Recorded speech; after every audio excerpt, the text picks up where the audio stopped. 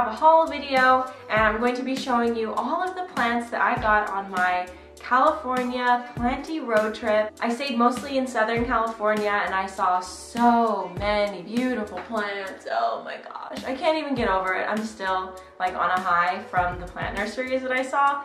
So let me just get started before I start rambling too much. I'm going to go nursery by nursery. So I went to Garden by the Sea, which is a nursery in Encinitas, and it is actually closing down. So they had a big sale. All the plants were 40% off. Some were even marked to 70% off, but none of the plants that I got were that marked down. So I got this baby little cactus. It's called, oh, there's a bug on here. Oh. It's called a thimble cactus. Basically, I have, my roommate has two little pieces off of a thimble cactus and there's a woman who I'm friends with who has been asking me, hey, can you sell me those? And it's not my plant, so I can't. So I actually got her this entire plant as a gift. And the second plant that I got from Garden by the Sea is this beautiful, gorgeous, gorgeous, gorgeous White Ghost Euphorbia. If you saw my video about cactus shopping, you know that I have been looking for one of these. I found this one at Garden by the Sea and it was 40% off. So I ended up getting it for like $24. So it is just gorgeous. The spines on this plant are just absolutely incredible. The colors, the variegation. Um, there's some parts that have just completely pale with no green and I am just obsessed and I cannot wait to propagate off of this and share it with other people. Next place I went was Barrels and Branches, also in Encinitas, and this place, if I lived, oh, sorry, gotta put my phone on silent, oops.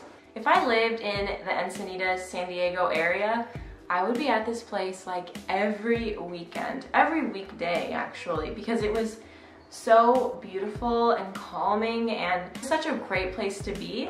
So let me show you what I got. Okay, the first thing is this Hoya obovata. And I, this was not on my wish list when I first arrived in California, but I saw it and I was like, oh, I actually need that. because I have never seen a Hoya obovata in person. I actually have only seen a Hoya carnosa in person in Tucson because I don't know why, but the Hoya market here is just non-existent. So I found this Hoya. I've seen it online and I just kind of thought there's no way I could ever get one but I saw it and it's incredibly beautiful. The splashes on it are turning pink and I was just so, so, so freaking excited to find this plant. The way that Hoyas grow is so interesting to me and I cannot wait to watch this one get bigger. Okay, the second thing that I got from Barrels and Branches is this peperomia and I don't know the actual kind that it is because I have never seen peperomia in person. Like, okay, actually I've seen peperomia obvata or something. One of the super common ones, uh, no, no, obtusifolia. I've seen the peperomia obtusifolia in person because those are a lot more common. The leaves are like sparkly. I can't even get over how gorgeous it is. Okay, the next place I went was Cordova Nursery, Cordova Gardens, I believe it's actually called. And there, oh, hold on, I just need to pause. There was where I just walked into the nursery, to their big houseplant greenhouse, and just had a moment. like, it was so beautiful and serene again, like just so gorgeous. And the greenhouse was huge. There's an entire fiddle leek, fiddle leek, Ugh. There's an entire fiddle leaf fig forest in the back and I was just, oh wow, I need a fiddle, but I am so scared. Okay, I was on the hunt for Hoya compacta variegata and string of hearts. Those were like the number one things that I really, really, really wanted to find. First, I'll show off this. This is a Hoya compacta variegata. As you can see, it is variegated and these leaves are insane. I have been obsessing over this plant for a while now. Just like the look of them when they get longer is insane. I just cannot believe that this plant exists. And I know that they are definitely prone to pests because you can see they have a lot of little nooks and crannies for pests to hide in. So I'm definitely going to have to do probably some preventative maintenance on this. I cannot wait for it to get longer and start growing like crazy. This string of hearts, I cannot believe the first time I saw it, there was like 10 or 20 of them at this nursery. So if you are in the SoCal area, the Encinitas area, you can definitely find these at Cordova Nursery. This one is just the green variety. It's starting to cascade just a little bit. This plant, amazing. I'm so happy that I found it. All right, the next place I went was Mickey's Hoard uh, something. It was Mickey's Gardens or something like that in West Hollywood.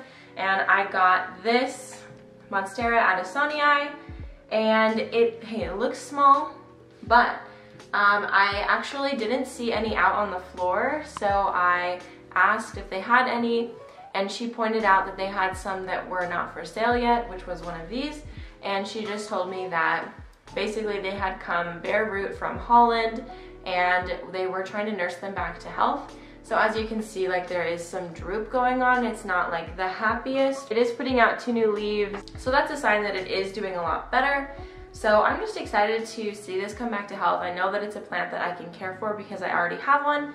It is a different variety though because the, the holes in these leaves are much bigger and much more on brand for what I was wanting in an Adansonii. So um, I'm excited to watch this grow and I've heard that they grow really fast. So yeah, that's what I got from Mickey's. Okay, one of the plants that I knew for sure going in that I wanted was a watermelon peperomia. Cannot find these anywhere near me and I didn't want to order online, but I did find a big one. I got this plant from Folia Collective in LA. Um, I went to the Bloom and Grow radio podcast live recording and it was so amazing. Like, oh my gosh, I had so much fun just talking and hanging out with other plant people and just, it was so exciting to be there and in the plant energy. So yes, this plant. It is so cute. It's called the watermelon peperomia, I'm sure, because it resembles watermelon. Common names, you know? But anyway, so there's a few pieces that are just kind of like outliers, like these two. So I think I'm just gonna cut these off and try to propagate from them if I can, because I would love to have like a ton of these just from propagation. Another plant that I got from Folia Collective that night is this variegated syngonium. Look at that amazing pure white leaf. Oh my gosh. Like this is absolutely gorgeous. The marbling on some of these leaves is amazing. They had, I think, four of these out on the floor and I saw them and immediately knew that I wanted one. I think I was the first person to start buying plants because I was not going to pass up this opportunity. Like if somebody else grabbed all of them and I didn't have the chance, I would have really been so mad at myself. So I am stoked that I found this. It was not something that I was looking for, but rather something that just fell into my lap and I'm so happy that it did. So yes, variegated syngonium from Folia Collective. Okay, now I have some plant accessories I wanted to show you, but first, from Folia Collective, we got these beautiful air plants and they, I don't know what kind of air plant it is. I'm not like well versed on air plants, but I know that Hannah has one of these. So this is step one in growing my air plant collection. It's my first one ever. So I'm gonna ask Hannah for some tips and I'm just really excited about this. I did not expect to get this. It was totally free in our little gift bag. So I'm gonna show you what else we got in that gift bag. The first thing was we got a push garden from Mod Sprout and basically it's like one of those push pops and you just push it up in an area where you have prepared for seeds and basically you push it and cover up the seeds and then water it just like you would any other seeds. And this one specifically is the hummingbird blend. I'm pretty sure that they have um, other blends, but basically it's just to encourage the bees to keep living their lives and pollinating everything. So really excited to use that. We got this really cute sticker page of some um, tropical leaves from Folia Collective, very fun. We got a pop socket, a Bloom and Grow Radio merch pop socket, which is really exciting. I need to get a new phone case before I use this because I'm pretty sure it'll be on my phone like forever and my phone case is currently going downhill fast. We got a pin from Hemleva. I'm probably saying that wrong, but we got a pin and it's a basil pin, which is so sweet because basil was actually the first plant that I owned successfully, so it's kind of special.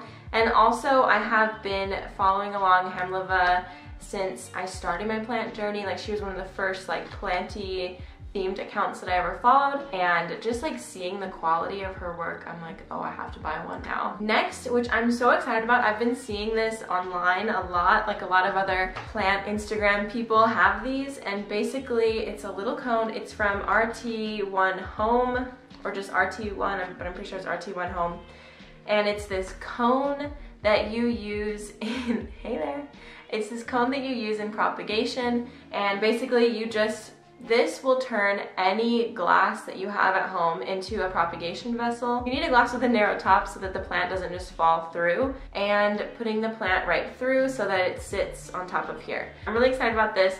I might order a few more because this is really cute. The last thing we got, which I'm really excited about, is this bloom bag. Um, I think from the company called Bloom Bags. I'll need to double check that and make sure. But it is a 100% recycled planter bag. It is made out of 100% recycled um, materials. Some or most of the materials are plastic bottles. So really, really cool to clean up our space and make something beautiful that gives back. And um, I'm definitely going to be planting some flowers in this this spring.